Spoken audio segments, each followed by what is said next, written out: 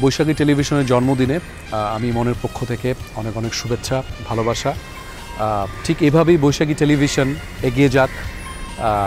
দেশ এবং মানুষের কথা বলুক, বিনোদনের কথা বলুক এগিয়ে যাক বৈশাখী টেলিভিশন।